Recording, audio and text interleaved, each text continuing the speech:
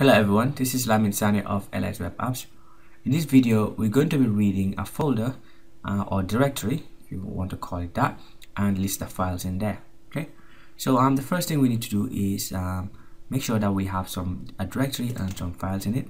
So I've got ahead um, up front and do, done that. So in our um, base htdocs folder, I have a folder called some folder and two files in it, some file one and two. Okay so first we need to create a resource um, to open the file. So let's just store that in a variable called resource and um, use the function open dir okay? And um, in there you pass in the um, name of the directory that you want to have a resource for. In this case some um, folder. Okay?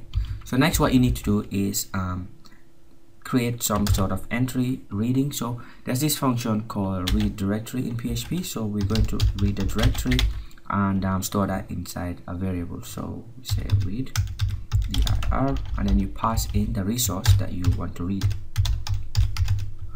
So basically what this is doing is anytime you call the read directory um, function it returns to you the next file in the directory so basically if you want to read all the files you have to keep um, calling this function until it um, returns false for you. Basically it's telling you that um, no more files exist in the directory.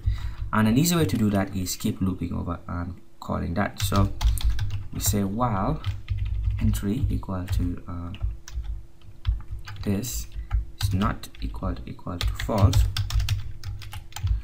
So what are we saying here?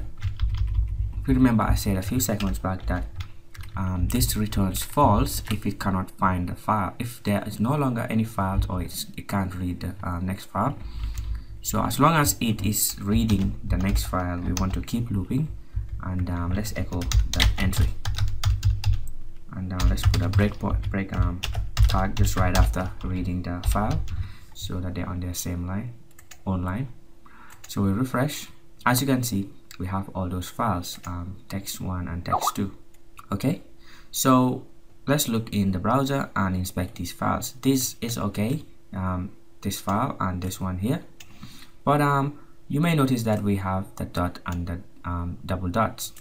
So basically what that is is um, these are hidden files inside this folder here. They are just um, a way of telling the whichever whoever's reading the current folder that um, this signifies the current folder up of that folder. So when we're here and you do a dot dot in your terminal that will take you um, one um, folder up from there and this one is just the current folder okay?